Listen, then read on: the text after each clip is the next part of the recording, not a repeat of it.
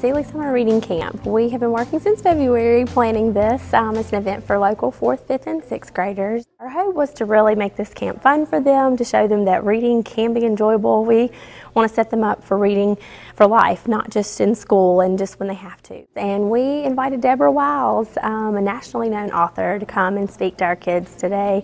She has a lot of Mississippi roots, and we thought it would be so important for her to come and share with them the love of reading and writing that she has and how Mississippi has influenced her and the success she's had as a writer and how it started early in her life and hopefully to inspire them to start early in their lives as writers too.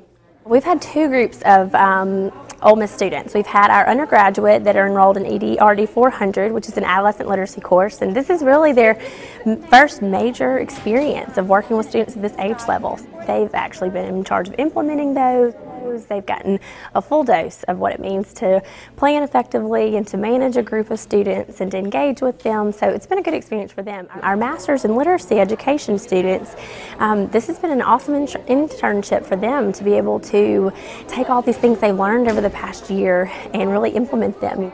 i am I'm a Mississippi girl, so it's been a real pleasure for me to be here in Oxford. I have a special affinity for talking with teachers about the teaching of writing. So when I talk to kids about stories, I'm talking to their teachers every bit as much as I'm talking to their students. So that was wonderful to be able to come here and talk about the way that I write and the stories that I write that have Mississippi flavor to them especially, and to have such a receptive audience. They were a lot of fun.